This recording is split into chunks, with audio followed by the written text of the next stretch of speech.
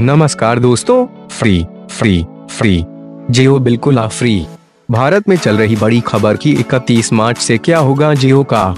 के इससे करेंगे जियो प्राइम? कितने में करेंगे प्राइम मेंबरशिप तो जियो ने कर दिया है अनाउंसमेंट कर दी है कि 31 मार्च से जियो की प्राइम मेंबरशिप फ्री मिलेगी। और 31 मार्च पहले जिसने भी प्राइम मेंबरशिप ले रखी है, उनको अब कोई रिचार्ज नहीं करवाना होगा।